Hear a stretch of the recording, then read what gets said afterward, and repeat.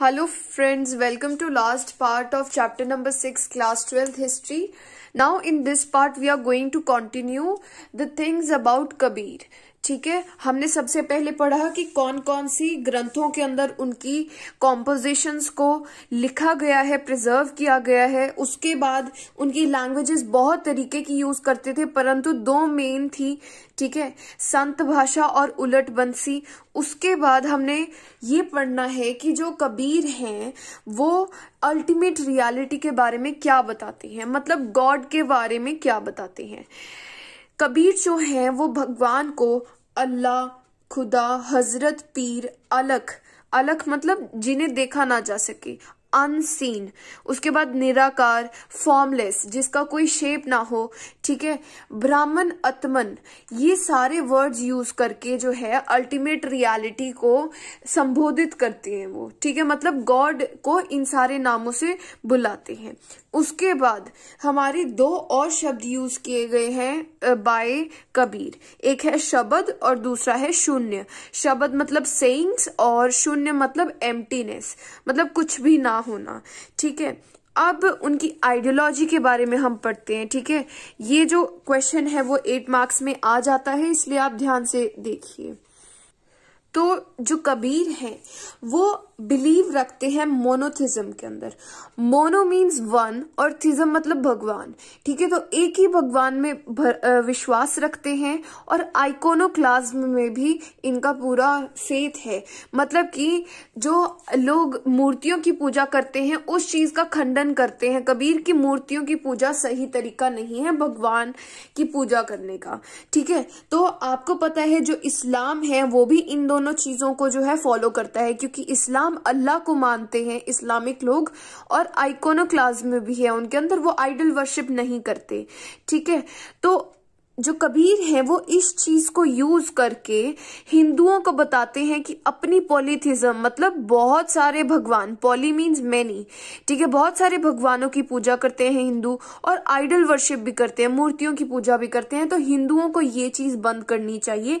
They should learn this particular thing from Islam ठीक है। उसके बाद जो कबीर हैं, वो कहते हैं कि जो सूफीज हैं, वो ज़िक्र करते हैं मतलब डिवाइन नेम्स का रेसिटेशन करते हैं और इश्क करते हैं भगवान से मतलब लव करते हैं। तो ये चीज़ जो है, हिंदुओं के जैसी ही है, जैसे हिंदू जो है नाम सिमरन करते हैं। तो ये दोनों चीज़ें सेम है उनकी आइडियोलॉजी के अकॉर्डिंगली अब जो कबीर हैं, वो एक इंस्पिरेशन है उन लोगों के लिए, जो कि एक्चुअल में जो रिलीजियस चीज़ें चल रही हैं, उनके अगेंस्ट आवाज़ उठाते हैं। ठीक है? जैसे आप देख सकते हो, कबीर जो है, वो हिंदुओं के अगेंस्ट भी बोलते हैं और कई जगह इस्लाम के अगेंस्ट भी बोलते हैं। वो कहते हैं, जो मुस्लिम हैं, वो सुबह सुबह इतने मतलब जैसे उनकी कुरान होती है सुबह सुबह तो वो बहुत ज़ोर से बोलते हैं। तो उस चीज़ को आ, कबीर जो है वो कहते हैं वो ठीक नहीं है कि भगवान को बिल्कुल शांति में ही हम पा सकते हैं। ठीक है तो ये उन लोगों के लिए इंस्पिरेशन है जो कि प्रेजेंट रिलीजियस चीज़ों के ऊपर क्वेश्चन उठाते हैं। और आज के टाइम में जो अवध सूफीज है मतलब उत्तर प्रदेश के सूफीज हैं वो अभी भी कबीर के लिए बहुत ज़्यादा डिवोटेड हैं उनकी कॉम्पोजिशंस की बहुत ज़्यादा रिस्पेक्ट करते हैं।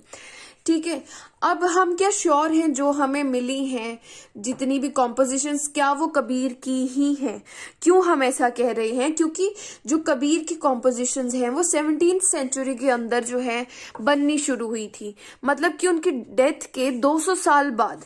तो वो तो उनके फॉलोअर्स ने लिखी है तो हम कैसे पता करते हैं कि ये कबीर की है या नहीं? That is through language content and style जो हिस्टोरियंस हैं वो देखते हैं कि किस टाइप का स्टाइल है, किस टाइप की कंटेंट है और क्या लैंग्वेज यूज़ की गई है, उसके अकॉर्डिंगली हम बता सकते हैं कि ये कबीर द्वारा लिखी गई है या फिर नहीं। अब जो कबीर हैं, उनकी पर्सनल लाइफ के बारे में थोड़ा जान लेते हैं कि उनका एक्चुअल में रिलीजन क्या था। ठीक है? जो वैष्णव ट्रेडिशंस है मतलब कि जो हमें विष्णु के जितने भी परंपराएँ हैं, उनकी जो टेक्स्ट हैं, उससे हमें पता चलता है कि जो कबीर हैं, वो एक हिंदू थे। ठीक है? और उनका नाम कबीर दास रखा गया था। कबीर एक अरेबिक वर्ड है, जिसका मतलब होता है ग्रेट बहुत महान। ठीक है? परंतु जब कबीर बड़े हो रहे थे तो उन्हें जो है आ, संभाला जुलाहज नाम की एक कम्युनिटी ने। जुलाहज का मतलब है आ, वो लोग जो कि वीविंग का काम करते हैं ठीक है कपड़ा बुनने का काम करते हैं। तो ये जो जुलाहज थे जिन्होंने कबीर दास को बड़ा किया था ठीक है वो जो है इन्होंने अपना रिलीजन चेंज किया था इस्लाम ठीक है तो मतलब कि जुल्हाज जो थे वो मुस्लिम थे परंतु जो कबीर हैं वो बाय बर्थ हिंदू थे। ठीक है? अब बात आती है कि कबीर जो है उनके कौन प्रिसेप्टर थे? प्रिसेप्टर मतलब गुरु कौन थे? ठीक है? जो वैष्णव ट्रेडिशन है वो कहते हैं कि जो रामानंदा है वो कबीर के गुरु थे। ठीक है, परंतु कबीर कहीं पर भी रामनंदा का नाम नहीं लेते अपनी कॉम्पोजिशन में, ठीक है? परंतु वो दो वर्ड्स ज़रूर यूज़ करते हैं, गुरु और सदगुरु, ठीक है? तो इससे हमें उनकी लाइफ के बारे में पता चला। अब देखिए, हमने जितना भी पढ़ा है, उसके बेस पर ये तीन क्वेश्चंस हैं आपके पास। ठीक है, आप इन्हें पढ़िए और देखिए कि आपको बिल्कुल क्लेरिफाई हो रहा है क्या आंसर्स हैं और कमेंट सेक्शन में बता दीजिए। ठीक है तो आप पॉज करके देख सकते हैं। First question tick the correct है। सेकंड भी टिक द करेक्ट है। और थर्ड जो है ना, ये दोनों तो वन मार्क्स के हैं। जो थर्ड क्वेश्चन है, वो एट मार्क्स का है। इसके अंदर देखो, जब भी क्वेश्चन पढ़ रहे हो ना एटलीस्ट दो टाइम्स तो आपको पढ़ना है, ताकि आपको बिल्कुल क्लैरिफाई हो जाएगी क्वेश्चन में पूछा क्या है। सबसे मेन चीज़ होती है क्वेश्चन को समझ लेना। तो देखिए, इसके अंदर आपको एट मार्क्स का है। Describe the relation between state and bhakti and Sufi traditions देखो, आपने स्टेट और भक्ति ट्रेडिशंस के बीच में रिलेशन पढ़ा है और स्टेट एंड सूफी ट्रेडिशंस के बारे में भी पढ़ा है। तो आपको क्या है, ये दोनों टॉपिक को एक्सप्लेन करना है कि relation between the state and bhakti relation between the state and Sufi इन दोनों का आपको एक्सप्लेनेशन देना है और दोनों के चार चार मार्क्स होंगे। तो क्वेश्चन को बिल्कुल ध्यान से पढ़ना है, ठीक है? तो ये दोनों क्वेश्चन का आप कमेंट सेक्शन में बता दीजिए। अब हम अगले पोइट सेंट के बारे में पढ़ेंगे, जिनका नाम है बाबा गुरु नानक। ठीक है, इनके ऊपर आपका क्वेश्चन भी आया है, आपकी इस ईयर 2021 के सैंपल पेपर में। तो ध्यान से देखेंगे, ठीक है? इनका जो वर्थ है, वो हुआ था 1469 के अंदर, ठीक है? और इन्होंने अपनी बॉडी को छोड़ दिया था इन 1539 ठीक है, कैसे लर्न कर सकते हो? 14 15 69 सिक्स का हाफ़ करोगे थ्री और पीछे नाइन लगा देना है, ठीक है? अब उसके बाद इनका बर्थ इनके लाइफ के बारे में जानते हैं। इनका बर्थ हुआ था एक हिंदू फैमिली के अंदर, जो कि एक मर्चेंट फैमिली थी। मर्चेंट फैमिली मींस व्यापारियों की फैमिली थी, ठीक है? कहाँ पर हुआ था इनका जन्म? ननकाना साहिब के अंदर, ठीक है? ननकाना साहिब जो है, एक विलेज है, रावी रिवर के पास। और ये जो विलेज है, वो पंजाब का पार्ट था, ठीक है, जहाँ पर ज़्यादातर मुस्लिम लोग ही रहा करते थे, ठीक है? अब इनकी, जब ये बड़े हुए तो इन्हें, इनकी फैमिली ने अकाउंटेंट बनने की जो है ट्रेनिंग दी। क्यों? क्योंकि हमारे मर्चेंट फैमिली थी तो उन्होंने इन्हें भी अकाउंटेंट बनने की जो है ट्रेनिंग दी। इन्हें पर्शियन लैंग्वेज आती थी, और जो बाबा गुरु नानक हैं, उनकी बहुत यंग एज पर शादी करा दी गई थी, परंतु इन्होंने अपनी लाइफ जो है ज़्यादातर सूफीज और भक्ताज के साथ बिताई है। ठीक है? अब बाबा गुरु नानक की आइडियोलॉजी के बारे में हम पढ़ते हैं। ये सपोर्ट करते हैं निर्गुण भक्ति को ठीक है? निर्गुण का मतलब कि जो भगवान है उसे मूर्ति की उसमें नहीं पूजना ठीक है? उन्हें जो है एक शक्ति की तरह आ, उनके लिए प्रे करना है ठीक है? तो दे सब ही सपोर्टेड निर्गुण भक्ति। और ये पाँच चीज़ों के अगेंस्ट थे ठीक है? नंबर वन सेक्रीफाइजेस सेक्रीफाइसेस मतलब यज्ञ तप ठीक है? देन रिचुअल बाथ्स मतलब कि लोग जो आ, ऐसे जाते हैं तीर्थ यात्रा पर और गंगा स्नान करके आते हैं ये सब कुछ ठीक है? उसके बाद इमेज वर्शिप के अगेंस्ट हैं ऑस्टेरिटीज मतलब जो हमारे जब हम तपस्या करते हैं, उसे ऑस्टेरिटी बोलते हैं देन हमारे जो स्क्रिप्चर्स हैं, हिंदुओं के भी और मुस्लिम के भी, इन दोनों को भी बाबा गुरु नानक जो हैं, वो रिजेक्ट करते हैं। ठीक है? अब ये जो है गॉड को रब बोलते हैं। रब जो है, उनके अकॉर्डिंगली उनका कोई जेंडर नहीं है और कोई फॉर्म भी नहीं है। ठीक है? शब्द के थ्रू जो है, बाबा गुरु नानक भगवान को याद करते हैं। शब्द का मतलब है डिवाइन नेम्स ठीक है? और ये पंजाबी लैंग्वेज में कुछ ऐसे शब्द लिखे जाते थे मतलब कि कुछ ऐसे संगीत लिखे जाते थे, जो कि गाए जाते थे और पंजाबी लैंग्वेज के अंदर वो लिखे जाते थे। ठीक है? जो बाबा गुरु नानक के फॉलोअर्स हैं, वो रबाब बजाते थे। रबाब एक इंस्ट्रूमेंट है, ठीक है? सितार की तरह। उसके बाद इनके जो फॉलोअर्स हैं, उनकी एक कम्युनिटी बन गई थी, ठीक है? विद टाइम जो है कम्युनिटी डेवलप हो गई थी। और जो गुरु नानक देव जी हैं, वो बिलीव करते हैं इन कॉन्ग्रीगेशनल वर्शिप मतलब जब कलेक्टिवली हम वर्शिप करते हैं, उसका ज़्यादा इम्पैक्ट पड़ता है। ठीक है? जो लोग आते हैं, जो ये कम्युनिटी है, उसे संगत बोलते थे। ठीक है? और ये जो संगत है, वो कलेक्टिवली रेसिटेशन करती थी शब्द का। ठीक है? अब उसके बाद हम पढ़ेंगे कि क्या, कौन सी स्क्रिप्चर है हमारी सिख धर्म की। अब देखिए, बहुत इंटरेस्टिंग चीज़ है आपको, पता चलेगी। अब बाबा गुरु नानक देव जी ने कोई भी रिलीजन की स्थापना नहीं करी थी, ये बात याद रखने वाली है। फ़र्स्ट नंबर के जो गुरु हैं, वो बाबा गुरु नानक देव जी हैं।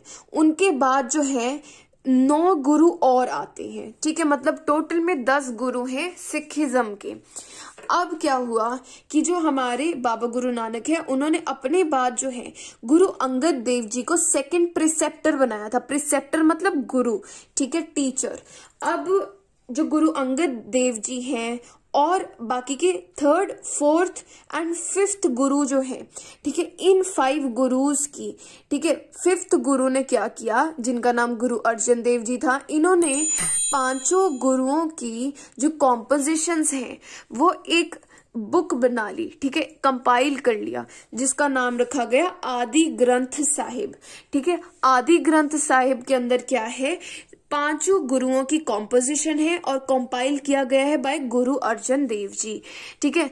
आदि ग्रंथ साहिब के अंदर तीन और पोइट्स की जो है कॉम्पोजिशन ऐड की गई हैं।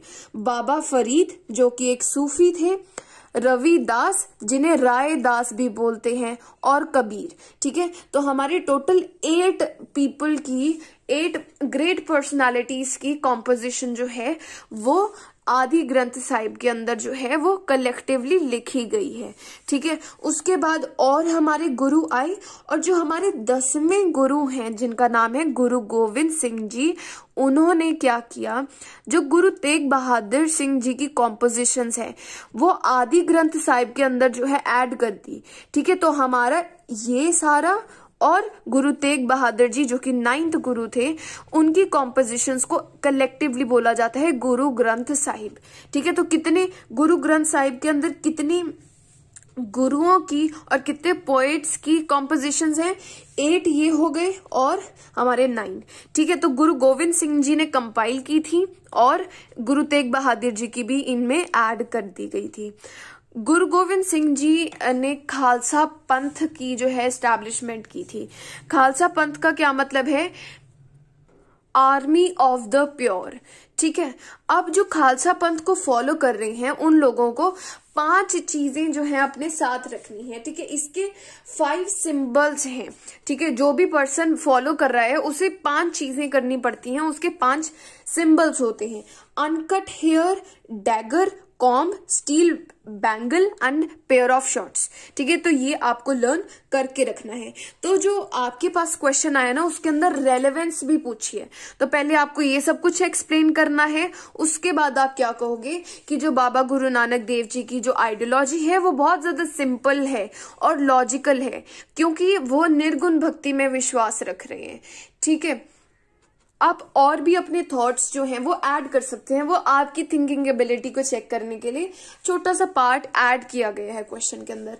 उसके बाद मीराबाई। जो मीराबाई हैं, वो फिफ्टींथ टू सिक्सटींथ सेंचुरी की एक पोएट सेंट हैं ठीक है? आ, इनका जो ज़्यादातर लाइफ है उसके बारे में कैसे हमें पता चलता है? That is through bhajans bhajans जो कि मीराबाई ने जो है एक टाइम पर गाए थे और उनके फॉलोअर्स ने जो है आने वाले समय में लिखे थे ठीक है? एक्चुअल में ये एक प्रिंसेस थी राजकुमारी थी राजपूत प्रिंसेस थी जो कि मरटा मरवाड़ जो जगह है वहाँ की रहने वाली थी। अब क्या हुआ कि इनकी जो है फोर्सफुली शादी करा करा दी गई विद सिसोदिया प्रिंस ठीक है? सिसोदिया क्लैन के एक राजकुमार के साथ मीराबाई की शादी हो जाती है। और ये प्रिंस कहाँ के होते हैं? मरवार के मर मेवाड़, आर नहीं आएगा, मेवाड़ के प्रिंस थे, जो कि राजस्थान के अंदर एक जगह है, ठीक है? तो अब जो मीराबाई हैं, वो नहीं चाहती थी कि मैं इस आ, मतलब घर गृहस्थी के अंदर जो हूँ वो हो जाऊँ और मैं अपने जो प्रभु हैं जिनका जिन्हें वो कृष्ण मानती थी ठीक है जो कि एक विष्णु की फॉर्म है और उन्हें भूल भुला दूँ ठीक है।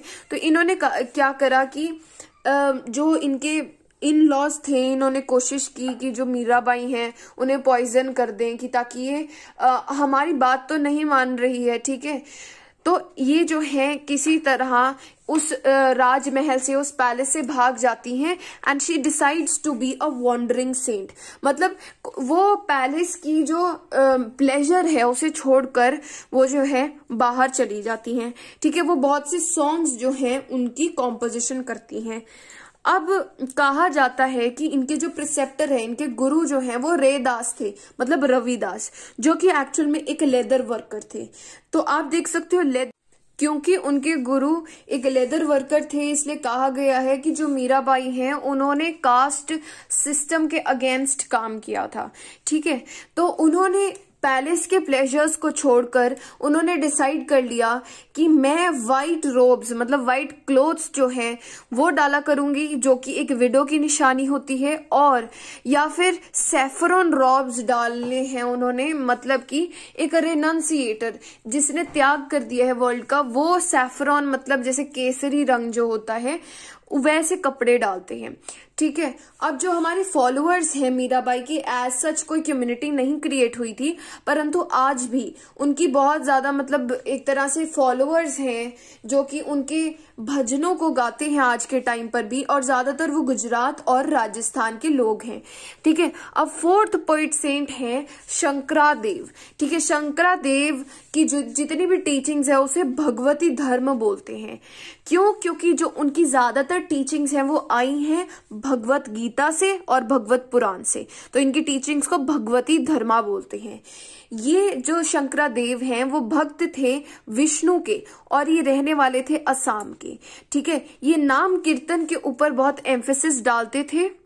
नाम kirtan means recitation of the names of the lord ठीक है? इन सत्संग मतलब कि जब जो काफ़ी सारे डिवोटीज आते हैं, उन सभी कलेक्टिव बॉडी को सत्संग बोलते हैं, ठीक है? जब वो नाम कीर्तन कर रहे हैं।